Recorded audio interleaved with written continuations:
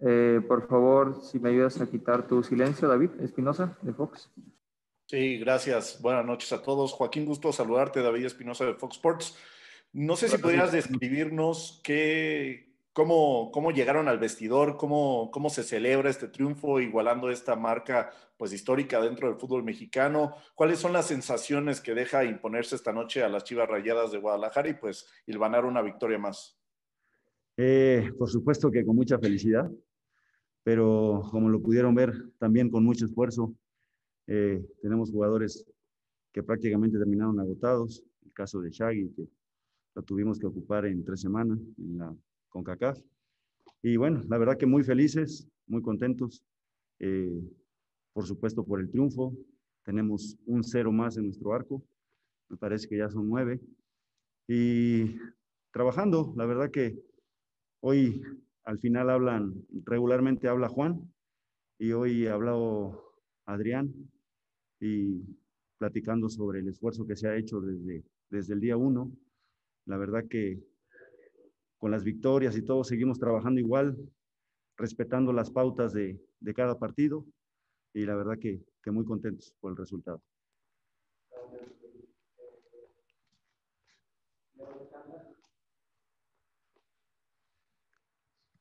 Sí, muchas gracias.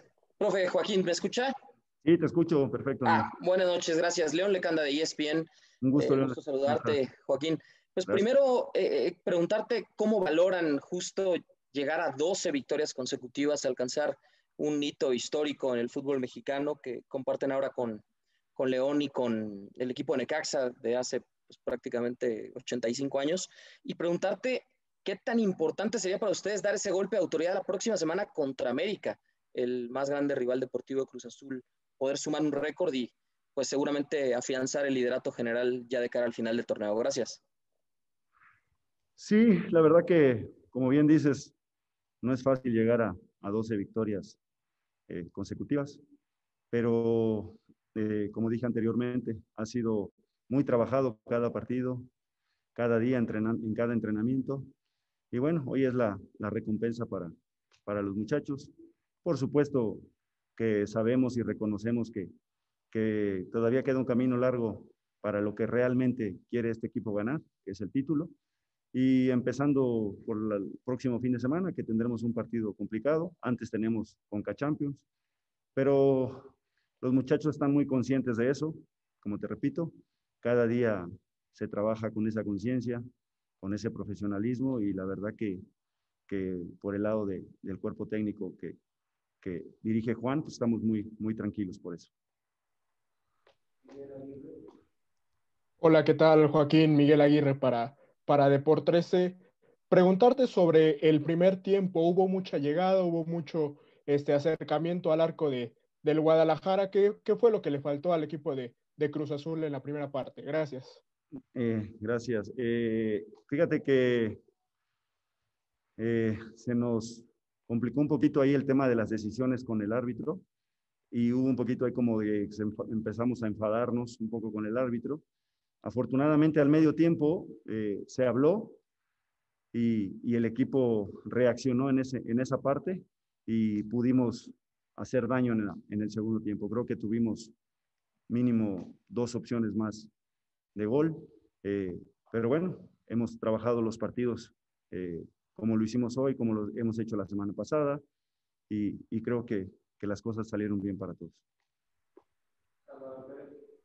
Muchas gracias. Profe Joaquín, ¿cómo está? Un gusto saludarles. Salvador Pérez de Gol.com. Espero que todo esté bien. Oye, profesor, eh, hablábamos previo al juego con, con, Roberto Alvarado sobre esta situación, sobre esta situación de las rachas, de las marcas, y hablaban un poco sobre el tema de que no, de que no distraía el hecho de, de la marca de, de, León, en el sentido sobre lo que se consiguió el día de hoy. Pero ¿cómo, cómo trabajar para seguir manteniendo los pies sobre la tierra por lo que se ha conseguido el día de hoy, sobre todo en este camino de cara a lo que hace la fase final? que al final de cuentas termina siendo otro torneo para Cruz Azul, profesor. Gracias. Es que es la realidad, no, no estamos ocupados en el tema de la racha.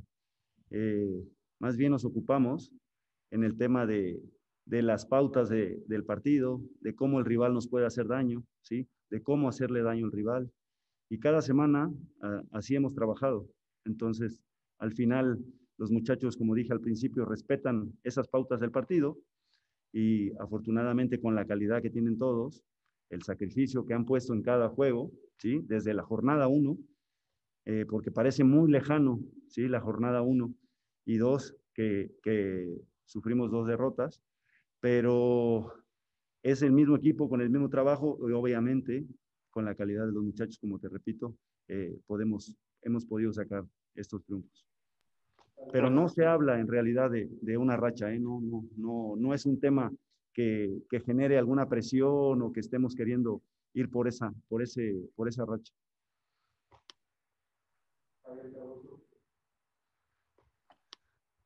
¿Qué tal? Buenas noches. Un saludo, profesor. Felicidades para, para todo el grupo por el momento que, que, viven, por lo que están imponiendo. ¿Y cuál es, cuál es la clave de este Cruz Azul? ¿Qué está haciendo bien y qué tiene que ir corrigiendo? Porque de pronto parece lejano y está con CACAF, pero faltan tres semanas para el gran reto que es la liguilla. Eh, ya lo dije, eh, eh, me parece que es el trabajo, ¿sí? Día a día, semana a semana, sin creernos nada, porque si tú revisas el plantel de Cruz Azul, son jugadores de mucha jerarquía, ¿sí? Eh, han ganado en diferentes equipos, han ganado, todos son ganadores, y bueno, estamos con la, con la espinita de poder ganar un, un título. Ese es nuestro objetivo final, y bueno, vamos, vamos por él semana a semana, día a día, entrenamiento a entrenamiento, y bueno, esperando que, que las cosas eh, sigan igual. Última pregunta, Armando, por favor. Gracias. Eh, ¿Qué tal, Joaquín? Buenas noches, Armando Melgar, Diario Record. Hola, eh, Armando. Más allá de, de, del logro histórico que, que han obtenido esta noche y del buen momento del equipo, ¿cómo deja el cuerpo técnico también el momento específico de Jonathan Rodríguez, quien, bueno, ya en los últimos partidos ha recuperado ese olfato goleador, de hecho fue el que definió el partido contra Juárez, hoy nuevamente se hace presente y ya está a dos, a dos goles de los líderes. Entonces, eh, ¿cómo los deja el momento de cabecita de cara a la liguilla? Nos deja contentos, por supuesto, que, que él en este momento del, del torneo esté, esté pasando por, por un buen momento. Creo que todavía va a mejorar un poquito más. Eh, por supuesto, eh, tenemos muchos jugadores con mucha calidad y, y al final generamos las opciones suficientes para ya sea cabeza o cualquier otro pueda, pueda hacer daño al arco rival. ¿no? Pero la verdad que contentos, digo, contentos con él, obviamente, que ha anotado, contentos con todo el grupo, contentos con, con Pablo, con Cata, que han nueve ceros. Creo que suena bastante complicado, no es sencillo. Por supuesto, con Chuy, con todos, no quiero dejar de mencionar a nadie, pero eh, en todo momento, la verdad que muy agradecidos con, con, todo, con todo el plantel.